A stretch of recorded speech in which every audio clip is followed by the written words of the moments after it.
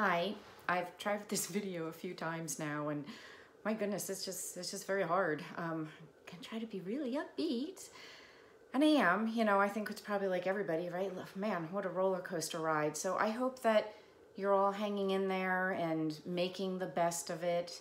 And of course, I hope for all of us that this is over really soon. Um, unfortunately, it's not going to be over by April 4th, which was the spring shred event, but November 7th is at Wilson High School, and let's all just hope, pray that we can go back to normalcy um, by the fall.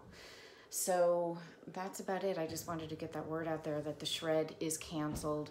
Um, real estate, as far as real estate goes, of course, everything has slowed down, but things are coming on the market and are going into escrow. We were deemed as essential workers just a couple days ago. We were all in a limbo holding pattern. So while we are essential, probably just like everybody else, we're doing our best not to go around each other. So just, it's possible. You can show a house and maneuver yourself that you go in, they go in, you don't cross paths.